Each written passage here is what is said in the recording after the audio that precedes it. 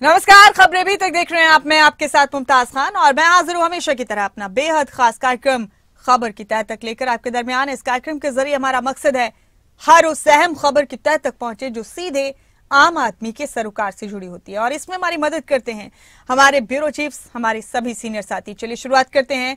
रुक करेंगे सबसे पहले हरियाणा का। आपको बता दें कि आज महेंद्रगढ़ में बीजेपी की बड़ी बैठक होने जा रही है।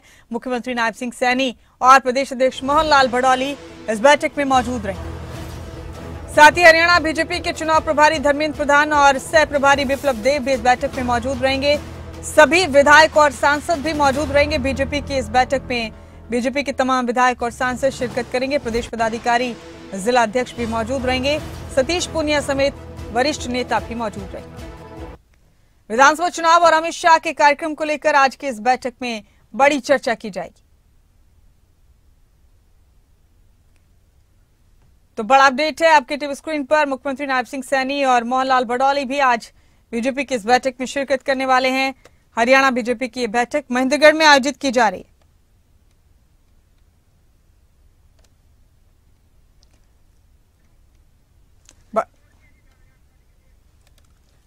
और मेरे साथ इस खबर पर हमारे पॉलिटिकल एडिटर अनिल मोर जुड़ गए हैं। अनिल, आज एक बार फिर बीजेपी का बड़ा मंथन होने जा रहा है महेंद्रगढ़ में। हरियाणा बीजेपी के तमाम बड़े चेहरे इसमें शामिल होंगे। मुख्यमंत्री नायब सिंह सैनी भी ज़ाहिर है विधानसभा चुनाव बिल्कुल सर पर है। अमित शाह का भी दौरा 16 तारीख को होने वाला है। क्या कुछ खास आज के इस बैठक में रहेगा अनिल?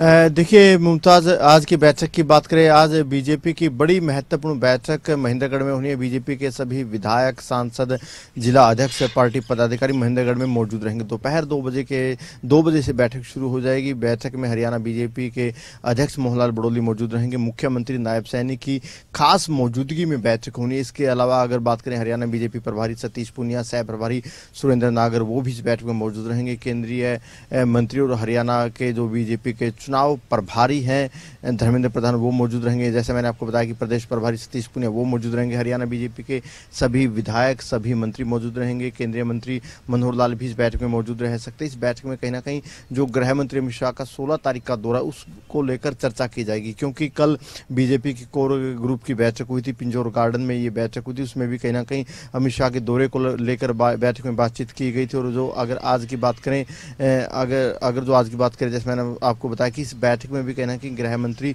अमित शाह के दौरे को लेकर चर्चा की जाएगी, जो ओबीसी सम्मेलन हो रहा है, जिसको संबोधित गृह मंत्री अमित शाह करेंगे, उसके रूपरेखा किस तरीके से रहेगी, कितनी भीड़ वहाँ पर जुटाई जाएगी, उसको लेकर चर्चा की जाएगी। यूँ कहें कि मुमताज़ बीजेपी ज़ोर शोर से विधानसभा चुनाव की तैयारियों में जुटी हुई है, लगातार बैठकें हो रही है, कल कोर ग्रुप की बैठक हुई थी, आज बीजेपी के सभी विधायक, सांसद, पदाधिकारियों की बैठक होगी, सोलह तारीख को अमित शाह आएँगे, यानी बीजेपी ज़ोर शोर से विधानसभा चुनाव की तैयारियों में जुटी हुई है। अनिल, ज़ाहिर सी बात है, काफ़ी अहम दौर है ये इस वक्त सभी पार्टियों के लिए और कोई पार्टी किसी तरह की कसर छोड़ना नहीं चाहती है। अमित शाह का दौरा बहुत जल्द एक बार फिर से होने जा रहा है हरियाणा में। अभी पंचकुला में एक बड़ी बैठक में उन्होंने शिरकत की थी। क्या लगता है अनिल, जिस सरगर्मी के साथ बीजेपी और बाकी पार्टियाँ एक्टिव हैं, इस बार विधानसभा चुनाव पहले से ज़्यादा दिलचस्प रहने वाला है?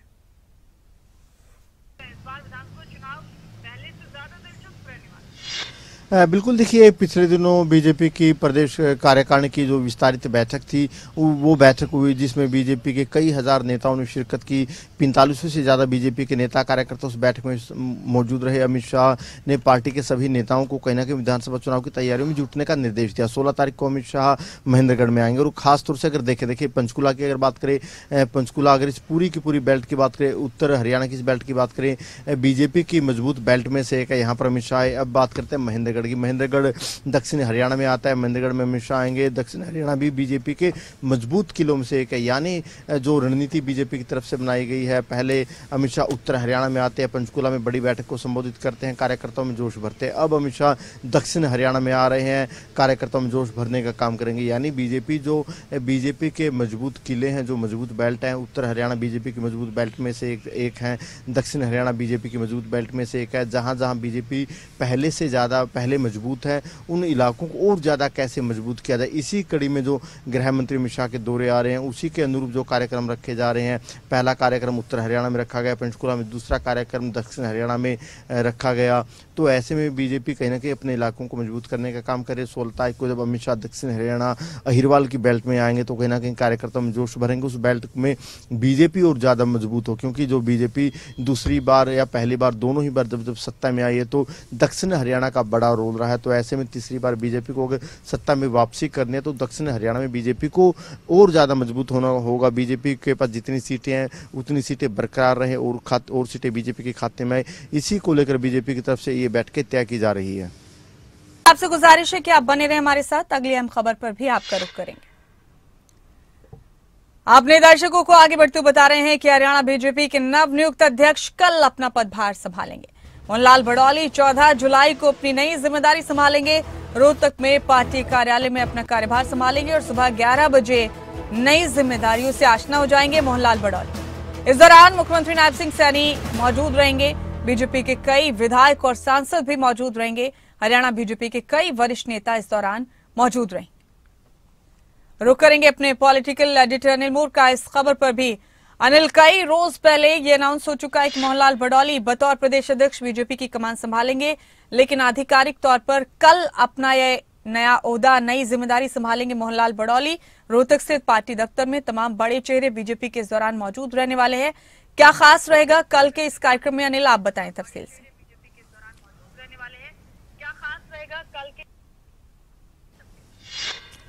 देखिए, यूँ तो मोहनलाल बडोली को हरियाणा बीजेपी का अध्यक्ष बनाए हुए कई दिन हो गए हैं।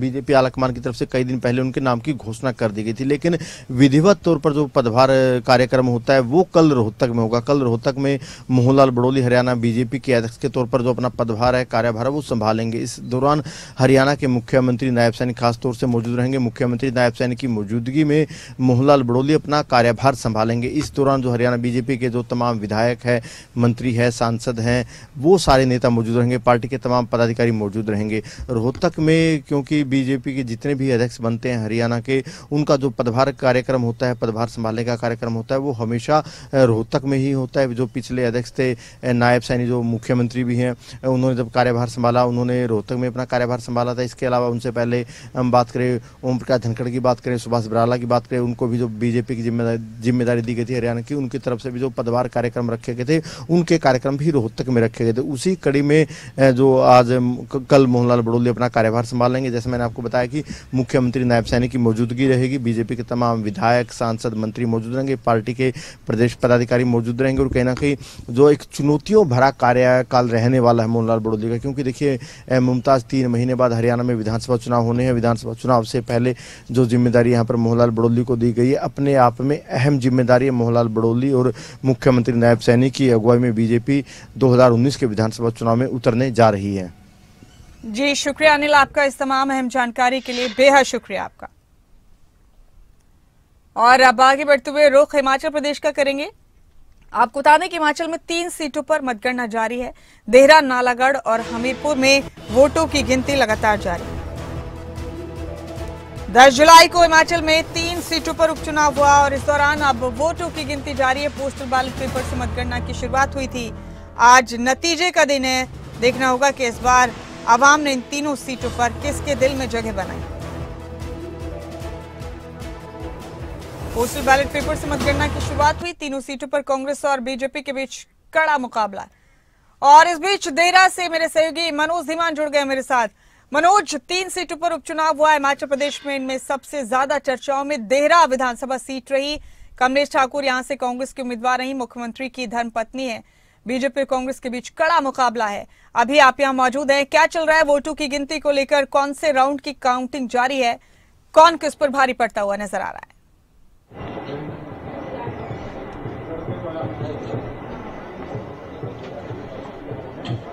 बिल्कुल मुमताज़, देखिए, आज जो है तीन विधानसभा सीटों पर जो हिमाचल प्रदेश की हैं, उनमें से तीनों विधानसभा सीटों पर आज उपचुनाव की मतगणना हो रही है, जिनमें अगर देहरा की बात की जाए तो देहरा की सीट खुद ब खुद होट सीट बन चुकी थी।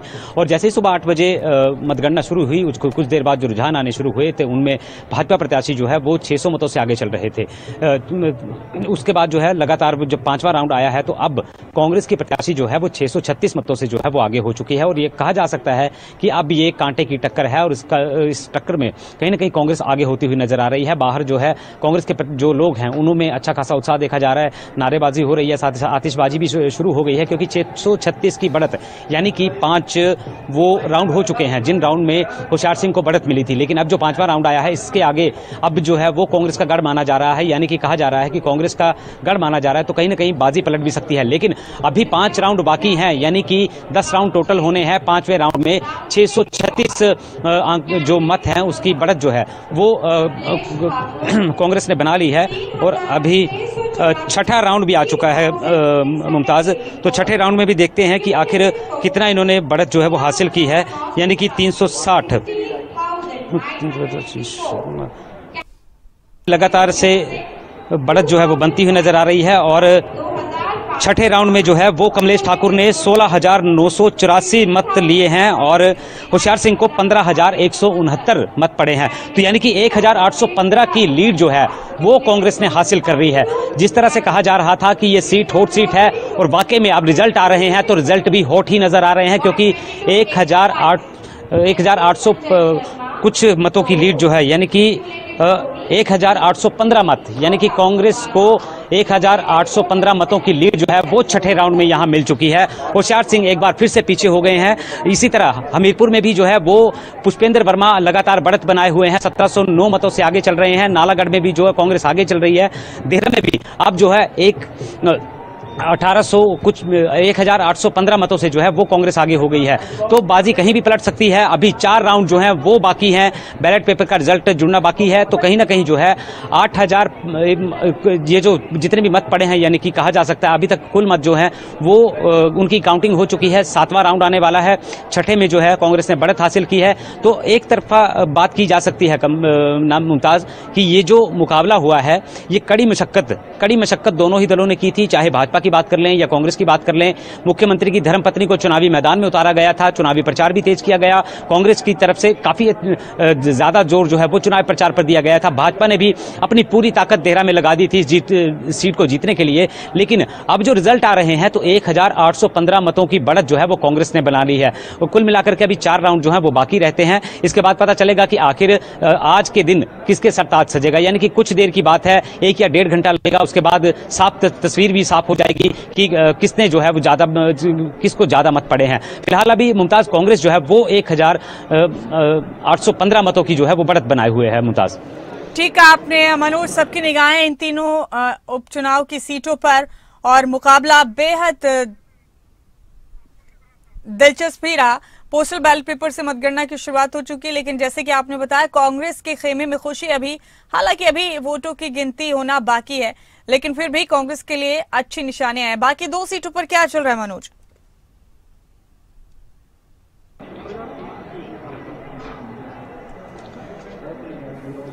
मुमताज़, देखिए, अगर हम हमीरपुर की बात कर ले तो हमीरपुर में दूसरे राउंड में भी जो है वो आशीष शर्मा लगातार आगे बढ़ते हुए नज़र आए हैं। आशीष शर्मा जो है वो पीछे चल रहे हैं और माफ़ कीजिएगा, आशीष शर्मा पीछे हैं और पुष्पेंद्र वर्मा जो कांग्रेस से हैं, वो आगे चल रहे हैं। तो लगातार बढ़त जो है इन्होंने बनाई हुई है और ऐसे में हर तरफ़ जो है वो कांग्रेस आगे बढ़ती हुई नज़र आ रही है। अगर हम बात करें नालागढ़ की तो दूसरे राउंड में कांग्रेस प्रत्याशी जो हरदीप बाबा हैं, वो एक हज़ार पाँच सौ सात एक हज़ार पाँच सौ इकहत्तर मतों से आगे चल रहे हैं। यानी कि दूसरे राउंड में भी हरदीप बाबा आगे चल रहे हैं। वहीं दूसरी ओर अगर बात की जाए तो हमीरपुर से कांग्रेस प्रत्याशी एक हज़ार सात सौ नौ मतों से आगे चल रहे हैं।